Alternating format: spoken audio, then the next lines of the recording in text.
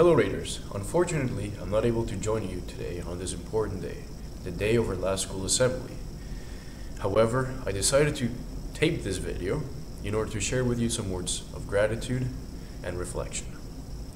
When I became your student council co-president on June of last year, I said to you that my mission for the upcoming year was to maintain the tradition of excellence alive in our school. Well, I'm proud to say that that is what our council did. Our council, filled with high-spirited and enthusiastic students, as well as the selfless, hardworking, and dedicated Mr. and Mrs. Wright, continued to work hard for the interests of the students of Renfrew Collegiate Institute.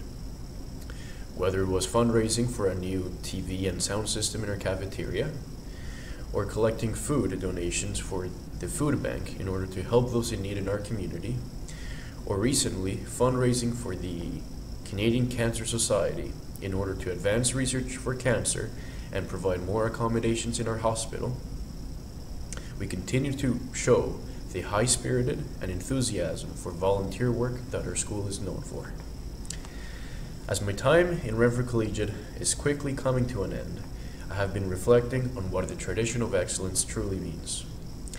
Is a tradition of excellence defined by how many wins, medals do our sports teams receive?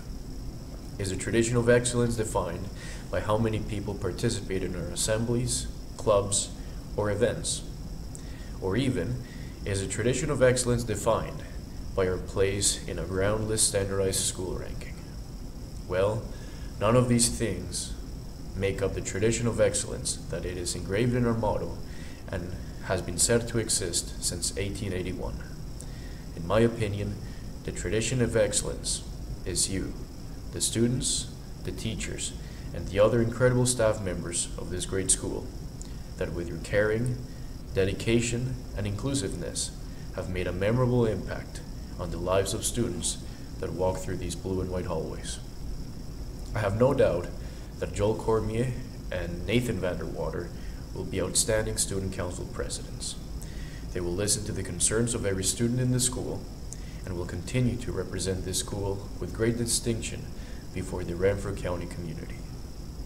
The same is true for the rest of the council, for I have no doubt it will be a council full of results and successes. Thank you very much, Raiders, for allowing me to serve as your student council co-president this year. Really, it has been an honor to occupy this role on my last year of high school. Best of luck to all of you on your exams. I'm sure you all do well. Thank you.